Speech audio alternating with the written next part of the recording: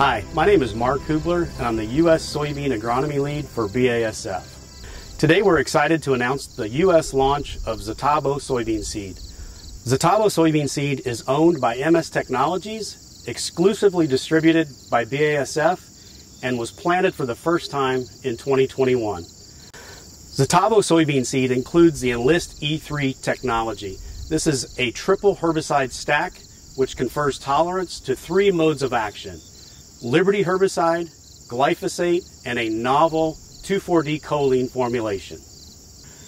Growers can employ multiple modes of action with Enlist E3 technology, which helps them control their most difficult weeds. Xitavo soybean seed will be available in 34 varieties. We're especially excited about the new class of 2022.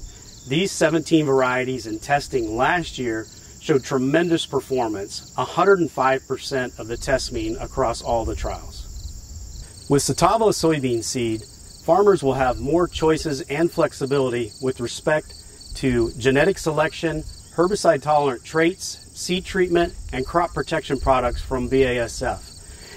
BASF seed agronomists extensively test all of our Xitavo varieties in multiple environments to ensure we know exactly where these varieties should be placed and positioned on a farmer's field.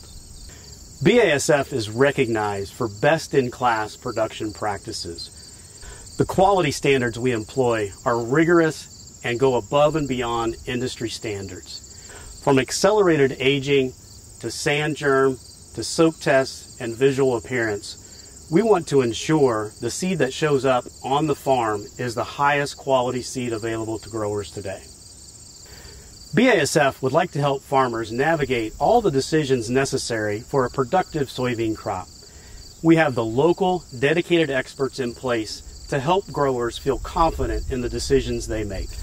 We truly believe at BASF with our innovations in seed, traits, seed treatment, and crop protection products, we can help growers maximize their productivity in soybeans. For more information, please contact your local ag retailer or BASF representative.